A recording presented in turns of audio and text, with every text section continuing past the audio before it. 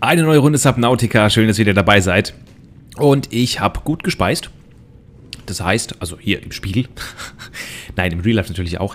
Ähm, und das heißt, wir bauen heute noch ein bisschen weiter um. Wir haben ja letztes Mal begonnen, eine ganz neue Ordnung da reinzubringen, da wir einfach viel zu kleine Schränke hatten, beziehungsweise zu wenige mit viel zu viel Müll drin. Ich habe jetzt schon mal aussortiert, also der hier ist fast leer. Der hier ist ähm, wirklich nur noch mit Medipacks und Essen und ein bisschen Ausrüstung. Das werden wir aber auch noch ändern. Und hier habe ich schon mal begonnen, die Samen reinzupacken. Samen heißt für mich aber, da sollen wirklich nur Samen rein. Ähm, deswegen werden wir diese ganzen Proben und Schweber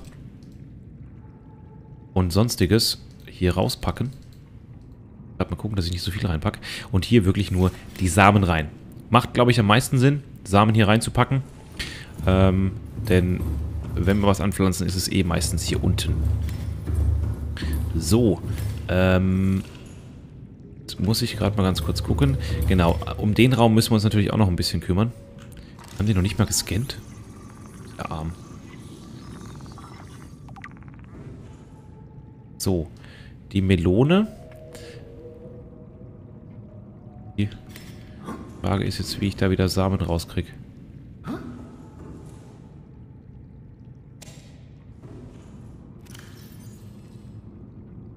Nicht. Das dachte ich mir fast. Verdammt. Jetzt pflanze ich sie wieder an. Mal gucken. Ah ne, die ist jetzt einfach hier drin. Ah, so. Genau. Mein Ziel wäre nämlich, dass wir hier noch ein paar mehr von denen anpflanzen. Zwar so viel wie geht, logischerweise. Fremde Pflanzenprobe. So. Perfekt. Ähm, etwas aus dem Konzept draußen. Nein, ich wollte jetzt hier zurückgehen. Ähm, noch ein bisschen Kupferdraht holen, die ganzen Pflanzensachen einsortieren. Die bekommen hier nämlich ihr eigenes, ihr eigenes äh, Regal. Ähm, jetzt müssen wir mal gucken. Bei verarbeitet müsste jetzt noch Kupferdraht drin liegen. Jawohl. Wir werden aber nochmal zwei oder drei brauchen. Jetzt gucken wir erstmal, wo war denn das Schild? Das war, glaube ich, hier. Genau. Ein Schild hier drüber. Da machen wir jetzt wieder das gleiche Spiel. Und zwar pflanzlich. Oh, hab mich verschrieben. Pflanzlich. So. Müssen wir noch ein bisschen größer machen.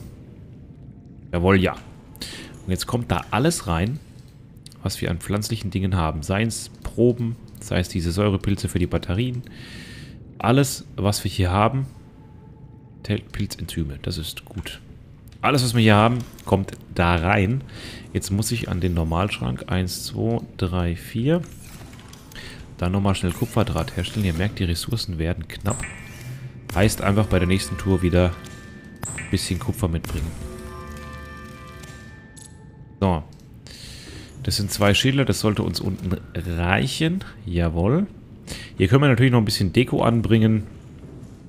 Für wen es jetzt hier so ein bisschen langweilig ist, können wir noch meinetwegen ein paar Wandregale, äh, solche Dinge hier reinbauen. Aber ich würde erstmal gerne primär wirklich gucken, dass es tatsächlich ein Lagerraum wird. Und im Lagerraum hat ein Tisch relativ wenig zu suchen. So, jetzt gehen wir mal runter und beginnen unten umzusortieren. Einfach nur, damit alles vernünftiger wird. Wir hatten hier die Samen, der Schrank war leer. Da würde ich gerne die Nahrung reinpacken. Also alles an Nahrung. Wir benutzen es zwar immer nur, wenn wir durch die Gegend äh, flitzen. Ich weiß nicht mehr, wie ich die Farbe geändert habe, wenn ich ehrlich bin. Irgendwie hatte ich das geschafft.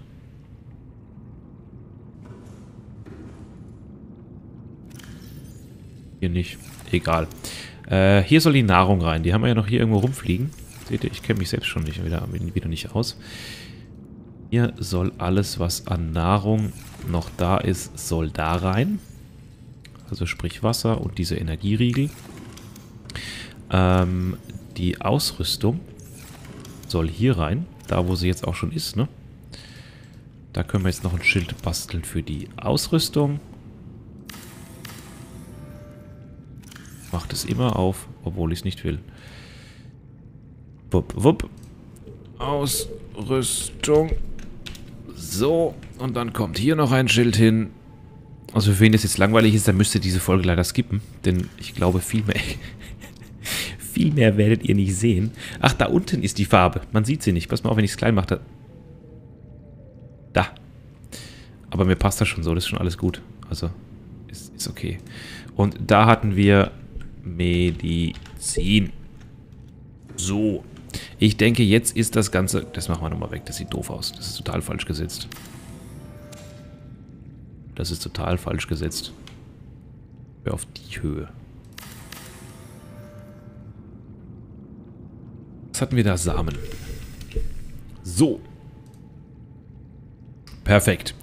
Ich denke, so findet jeder Blinde, äh, beziehungsweise jeder Einbrecher weiß direkt, wo was ist und kann sich das Ganze dann rausnehmen. Ähm, so ungefähr sollte es jetzt hier unten sein. Wir haben die Samen, wir haben die Nahrung, die Ausrüstung, die Medizin. Das heißt, hier ist unser, unser Raum, den wir definitiv betreten werden, wenn wir irgendwo raus müssen. Und schon wieder eins fertig. Und wir haben jetzt vor allem Schilder drüber. Die Schränke sind nicht mehr ganz so voll. Wir haben ein bisschen mehr Überblick. Gefällt mir schon mal sehr, sehr gut. Und jetzt gucken wir hier nochmal rein. Da haben wir Batterien. Da haben wir... Das wäre zum Beispiel ein Samen, den wir mitnehmen sollten. Hier haben wir Kreatureneier, die können wir mal lassen. Die Gravitationsfalle ist ja im Prinzip auch eine Ausrüstung. So, dann haben wir hier einen Samen. Und ihr seht, es, es ist schon einfach jetzt viel mehr Platz da. Zur Ausrüstung könnte man jetzt natürlich auch noch sagen, hier, komm, die zwei Batterien, die packen wir damit rein. Das ist so eine Sache. Oben soll es Rohstofflager sein. Hier soll wirklich das sein, was wir täglich brauchen, was wir benutzen an, an, an Geräten, an Ausrüstung. Und was habe ich denn da reingepackt? Die Rubine. Natürlich jetzt mit hoch. Das Ding können wir dekonstruieren. Das brauchen wir hier nicht mehr in diesem der Konstellation. Da ist nur, da machen wir mal, aber die machen, die Module machen hier unten, machen die Sinn? Da schreibt man mal Eier rein. Na? Nicht Weiher. Eier. Und hier schreibe ich mal Module rein. So, ich weiß, es war längst überfällig dass wir diese, diese, diese Art von Ordnung hier mal reinbringen. Jetzt haben wir es geschafft. Und ich finde, es sieht mega, mega gut aus. Vor allem, wie gesagt, macht es auch Sinn. Was ich jetzt noch gerne hätte, aber ich glaube, das wird nicht möglich sein. Nee, das wird nicht gehen. Jetzt guckt, lass mich mal ganz kurz einsortieren. Dann kann ich euch von meinem Plan gleich mal ein bisschen erzählen. Jetzt, jetzt kommen wir tatsächlich an den Punkt, an dem unser Inventar hier schon wieder nicht reicht, ne? Geht gar nicht alle Rubine rein. Halb so wild. Plan B. Plan B. Titan darf ich noch nicht wegpacken. Aber das darf ich wegpacken. Wir machen tatsächlich ein, ein, ein eigenes Rubinfach. Warum nicht? Warum nicht? Hört ja keinen. Vor allem ist ja gar kein anderer da, der meckern könnte.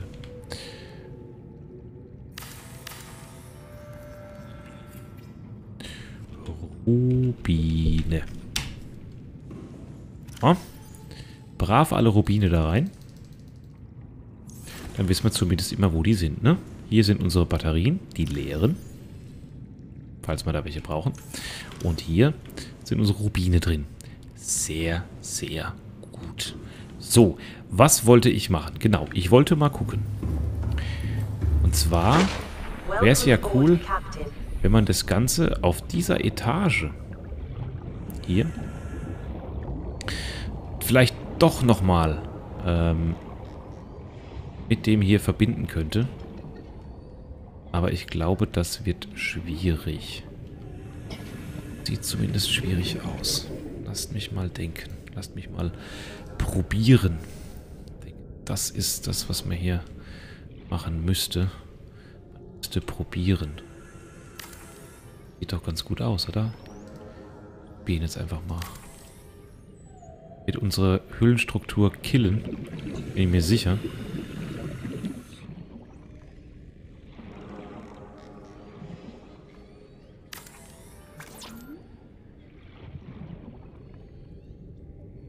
Genug Titan. Da müssen wir jetzt mal unser ganzes Titan schnappen. Ich möchte, also meine Idee wäre, dass wir dann doch vielleicht irgendwie hier ähm, mit einer Art Tunnelsystem von unten da reinkommt. Probieren wir jetzt einfach mal. Also quasi von, von innen, ne? Dass wir nicht, äh, dass, dass wir einen einfacheren Weg, dass wir unten geradeaus entlang latschen können. Nehmen wir mal alles mit. Wir können es ja wieder abbauen. Wenn es schief geht, bauen wir es wieder ab. Ist ja alles, alles, äh, denk- und machbar. Das war schon mal doof. Denn, äh, was ich gerade vergessen habe, wir müssten hier ja so ein T-Stück einbauen. Das heißt, die Kurve müsste raus. Da sind Befestigungskomponenten. Okay, lasst mich kurz denken. Da geht's raus, dann ging es geht's hier rum. Was genau da drin sind Befestigungskomponenten? Wir gucken mal. Tauchen mal schnell da rein. Oh, das ist die falsche Etage. Und dann hier. Wenn dann hier. So, wir kommen hier. Hier entlang. Hier entlang. Ah, wahrscheinlich die hier. Wenn ich das Shot hier aber wegnehme. Komm, wir probieren es.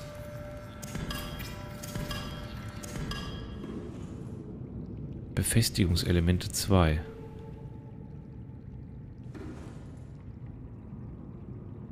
Spind ist nicht leer. Hier ist kein Spind. Aber das hatten wir doch schon mal, ne? Dieses doofe Problem. War die Leiter das Problem? Weil es ist ja nur dieser Bogen.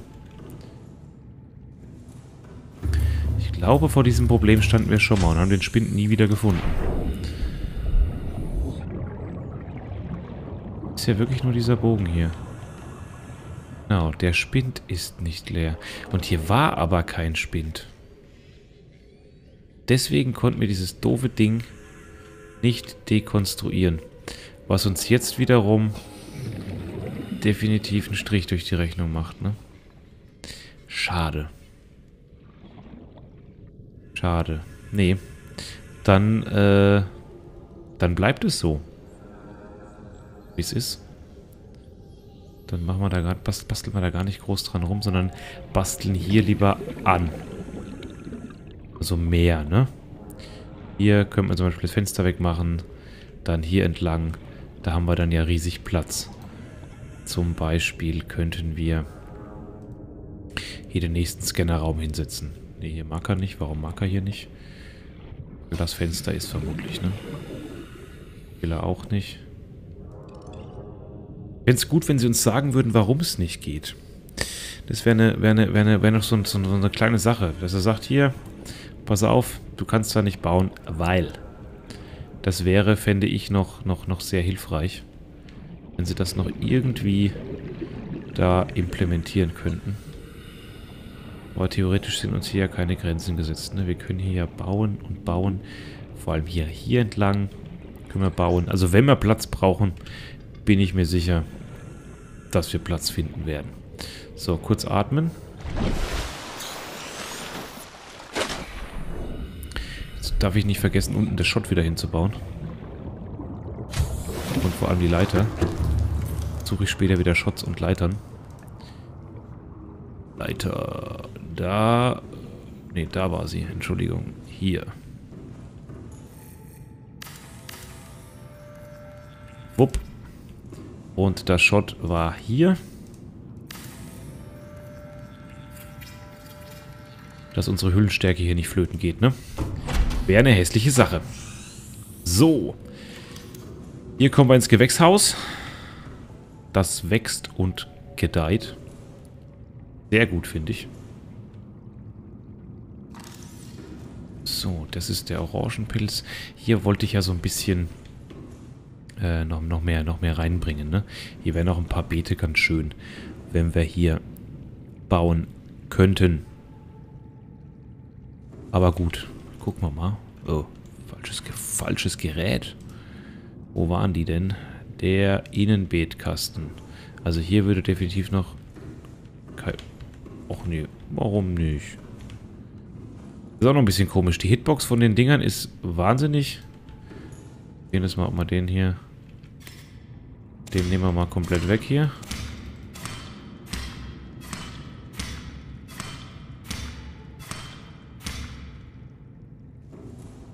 Bauen das mal ab. Vielleicht passt dann einer hin.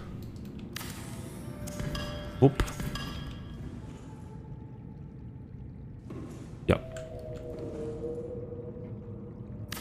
So ist schön. Dann können wir hier nämlich noch ein bisschen was anpflanzen von diesem ganzen Zeug. Vor allem...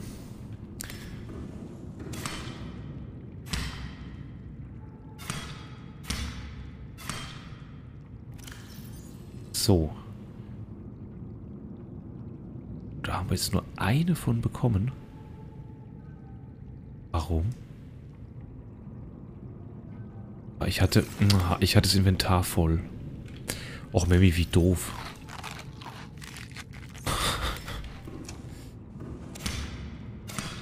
So, jetzt haben wir zwei Ming-Samen. Das heißt, wir können das Ganze jetzt hier so ein bisschen vermehren, ne? Das wäre so mein eigentliches Ziel gewesen. Da hauen wir da einmal drauf und hauen da einmal drauf. Und pflanzen das Ganze hier wieder so ein. Und dann wird es ja Stück für Stück, äh, kriegen wir mehr davon, können wieder Samen ziehen und so weiter und so fort. Sehr gute Sache. Hier haben wir Wasserfischchen drin. Und hier haben wir die normalen Fischchen drin. Da müssen wir auch wieder fischen gehen, denke ich. Ja, Wasser haben wir ganz wenig. Oh, ich würde sagen, komm, das machen wir mal zum Abschluss der Folge. Das war doch eigentlich ganz lustig, oder? Mit der Gravitationsfalle. Hier ist sie. Fand ich eine, eine, eine richtig, ehrlich gesagt, eine richtig coole Sache. Bisschen makaber, aber lustig. So, jetzt gehen wir mal irgendwo hin. Ach, eigentlich können wir sie gleich mal hier rauslassen. Irgendwo hin, wo wo ein paar mehr Fische sind. Und lassen das Ding mal los.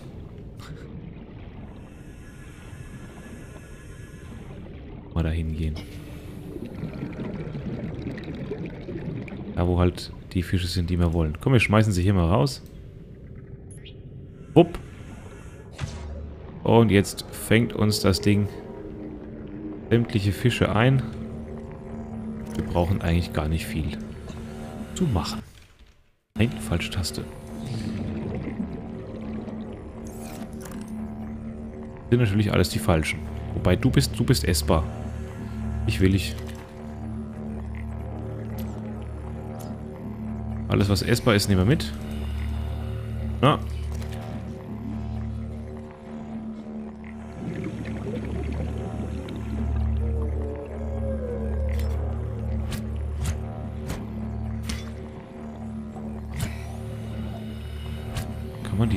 klein kriegen?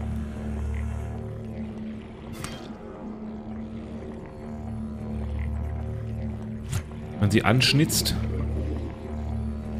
Ich nehme natürlich auch mit den Glubscher. Das ist das Angeln der Neuzeit, ne?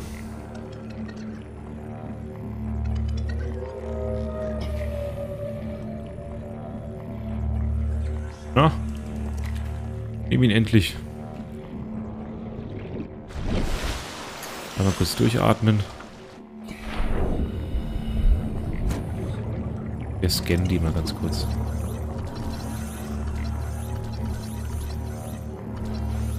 Auch jetzt scannen ihn halt endlich zu Ende. Kaninchenfisch. Was kann das? Als pflanzenfressender Meeresbewohner scheinen Kaninchen Ach, Rochen heißen sie. Ein ruhiges und eingängiges Leben zu führen, mit wenig Fressfeinden, einer angeborenen Neugier und außergewöhnlich giftigem Fleisch. Zwei Ohren. Äh, na, na, na. Nicht essbar, aber harmlos. Okay. Ja, dann sind, das, sind die halt schönes Mitbringsel, ne?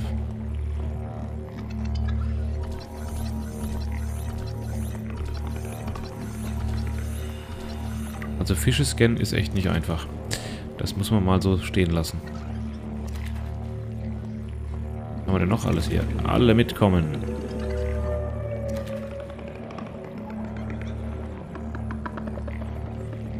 Wo ist das letzte Glubschauge? Komm her.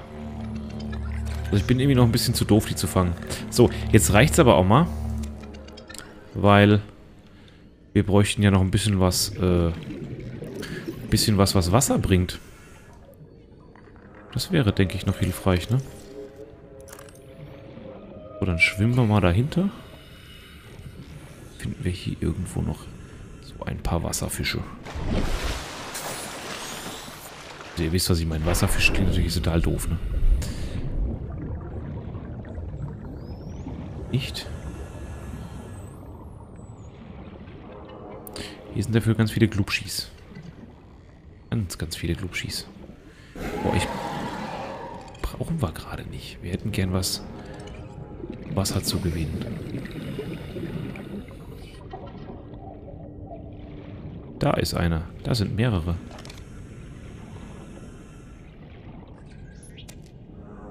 Oh. So. Und warten. Da kommt schon der erste direkt vor uns geschwommen. Nein, das habe ich noch ausgelassen. Das war nichts in der Sache.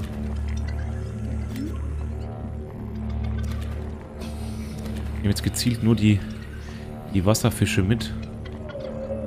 Aber ich glaube, das waren schon alle, ne? Na, da ist noch einer. Also ich finde diese, diese Angelmethode echt genial. Einfach warten und einsammeln. Klubscher. Klubscher. Crispy-Fisch. Ne, Bumerangfisch heißen sie. Noch ein Klubscher. Und jetzt ist unser Inventar auch gleich massivst voll. Wir nehmen das jetzt mit. Gravitationsfalle, Inventar. Och nein, da müssen wir jetzt einmal kurz zurückschwimmen. Wird die mir angezeigt? Die wird mir nicht angezeigt, kann das sein? Nein, die wird mir nicht angezeigt. Das ist doof. Da müssen wir uns kurz merken, wo sie war. Und zwar Süden. Naja. So ganz. Ich hoffe, wir finden sie wieder. Ich hoffe, wir finden sie wieder. Bin natürlich ganz falsch geschwommen. Ganz falsch geschwommen. Denn hier sind wir jetzt ja erstmal falsch, ne? Zwar massivst falsch. Jetzt bin ich noch in die falsche Richtung gerannt. Oh Gott, Memi. Ganz ruhig. Ganz ruhig. Und zwar müssen wir runter. Und da lang. So, hier kommen die ganzen Wasserfischchen rein. Da kommen die ganzen essbaren Fische rein. Und den Rest an Fischen packen wir, packen wir hier rein. Oh, da ist auch schon kein Platz mehr. Dann würde ich sagen, fröhliches Grillen. Da sollte man vielleicht hin, ne? Und jetzt lasst mich mal schauen. Jedoch dezent. Können wir nicht pökeln? Ah, da brauchen wir Salzablagerung zu.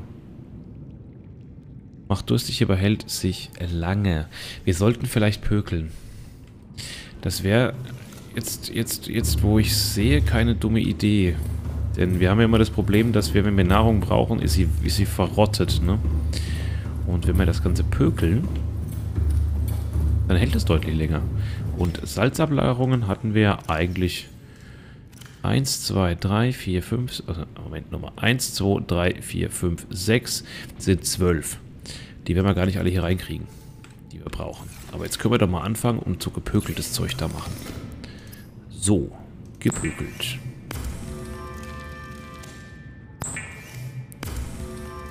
Macht ja Sinn, ne? Und ob es jetzt durstig macht oder nicht, ist im Prinzip eigentlich erstmal egal. Weil Wasser kriegen wir immer. Aber so hält sich zumindest der Fisch hier ordentlich lange, ne?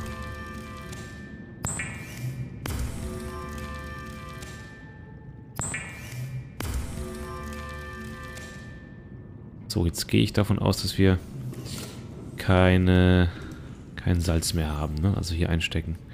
Was brauchen wir noch? 1, 2, 3, 4. 1, 2, 3, 4. Perfekt. So, was pökeln wir jetzt noch? Bumerang. Wir pökeln noch einen Bumerang.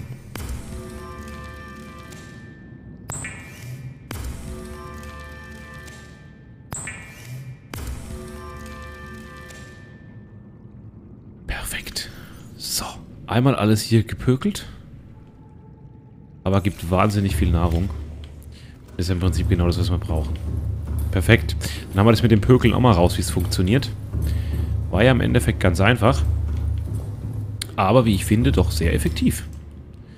Wenn sich jetzt noch lang genug hält. Das ist jetzt die Frage, aber wir können ja immer das jetzt zuerst essen. Also wenn wir Hunger haben, schnappen wir uns erstmal so ein hier. Verdrücken den. Ne? Und trinken dann halt noch einen Schluck Wasser bei Wasser jetzt ja auch schon schwierig wird. Da hatten wir ja gesagt, wir lassen da von jedem mal einen drin. Also die können wir zur Not hier essen. nee, perfekt. Wir nehmen noch das Medikit hier raus, packen es noch ganz brav in den Medizinschrank. Und dann sind wir für heute auch schon leider wieder am Ende. Ähm, beim nächsten Mal werden wir uns natürlich wieder auf Erkundungstour gehen. Ich würde auch ganz gern mal, das haben wir schon einige Folgen hier ausgelassen, ähm, die ganzen ganzen Informationen hier lesen. Also die hier, beziehungsweise eigentlich wichtiger. Okay. Das ist eigentlich, was wollte ich denn sagen? Hier. Da haben wir ja wieder einen Haufen, äh, einen Haufen Dinge, die wir mal wieder uns angucken müssten. Ne, Ventilator zu öffnen, fremder Bogen und so weiter. Öffentliche Dokumente. Ähm, wir haben ja vieles jetzt schon ganz, ganz, ganz lange nicht mehr gelesen. Und das sollten wir uns mal ganz in Ruhe angucken, würde ich sagen. Das können wir dann in den nächsten Folgen auf jeden Fall angehen. Bilder haben wir auch schöne gemacht, wunderbar. Äh, Aerogel können wir mittlerweile herstellen, wenn wir jetzt mehr Gelsäcke finden. Und wenn wir das haben, geht es ja auch langsam so in Richtung der coolen der richtig coolen äh, Sachen. Hier, zum Beispiel das Triebwerk könnten wir schon bauen. Ähm, jetzt lasst mich mal ganz kurz gucken, bevor ich euch anlüge. Genau. Also wir haben den, den, die Zyklopenbrücke, wir haben den, die Zyklopenmaschine, den Rumpf haben wir fast. Ähm, den Zyklopen selber noch nicht, aber das, das kommt alles Stück für Stück. So ein Wärmekraftwerk wäre auch cool, wenn wir mal irgendwo aufbauen, wobei aktuell ähm, würde ich es nur bauen, um es mal gebaut zu haben. Und dafür ist mir das Material ehrlich gesagt noch ein bisschen zu teuer. Wir müssen auf jeden Fall Wrack suchen gehen. Wir, ihr seht es, Energiezellenladestationen brauchen wir. Wir brauchen die Modifikationsladestation, äh, die Modifikationsstation, die Batterieladestation, lauter solche Dinge. Ähm, das gucken wir uns alles an. Ich überziehe schon gerade wieder maßlos. Ähm, in diesem Sinne würde ich sagen, wir sind jetzt wirklich am Ende. Ich bedanke mich wie immer fürs Zuschauen. Wenn es gefallen hat, lasst ein Däumchen da. Ihr dürft gespannt sein aufs nächste Mal. Und einen schönen Abend wünsche ich euch. Bis dann, macht's gut.